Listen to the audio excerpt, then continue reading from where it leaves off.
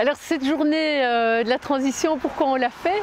Tous ces projets qu'on fait ensemble, c'est pour célébrer euh, chacun, parce que chacun participe à la création de ces projets. Tout est possible grâce à tout le monde.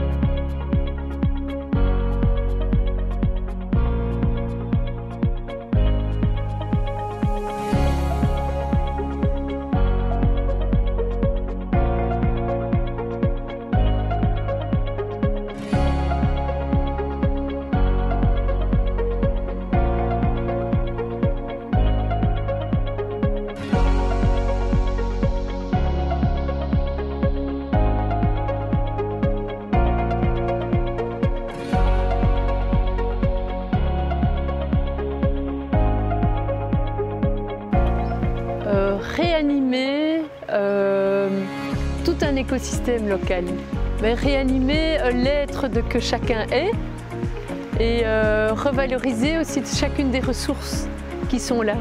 Mais que, les, ressources, que ce soit végétales, animales, l'énergie, mais les ressources humaines, en fait, ça fait un tout. Et c'est vraiment amplifier tout le vivant. En fait, pour moi, c'est ça la transition. et ça se met dans des projets euh, visible, mais il y a quelque chose de beaucoup plus profond qui se passe. Ça s'enricine très loin, je trouve.